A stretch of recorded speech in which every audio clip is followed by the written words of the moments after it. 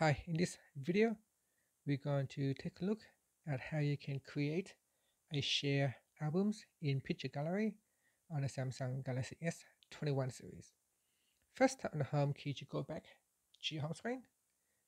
On the home screen or in the app screen, open up the gallery app and then tap on the menu key at the bottom and then tap on share albums. In share albums, tap on get started and give your album a name. So let's say city views and then tap on create. And here you need to tap on the context that you want to share with. So you have three different tabs at the top. You've got groups. You can uh, add in a group.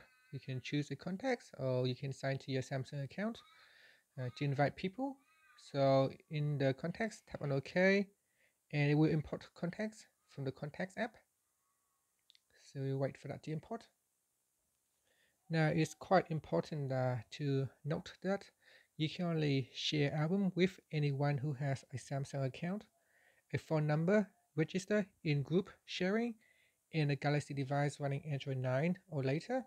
So if they don't have a uh, Samsung account and if they are not registering for group sharing then it will not work and you can see here you can tap on group for families and contacts. At the moment in my contacts if I tap on all of this will not work because uh, these contacts are not in the group sharing.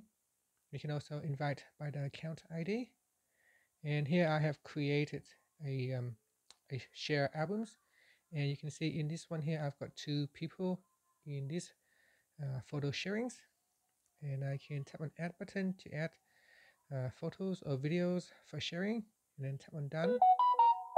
And now it's uploading the photos to a group.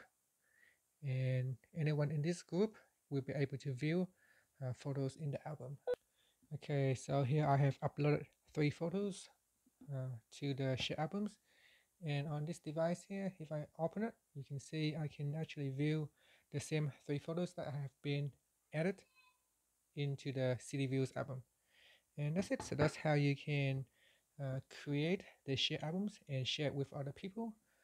And uh, they can also share photos with you as well. And this is a great way for collaborations and sharing photos. Thank you for watching this video. Please subscribe to my channel for more videos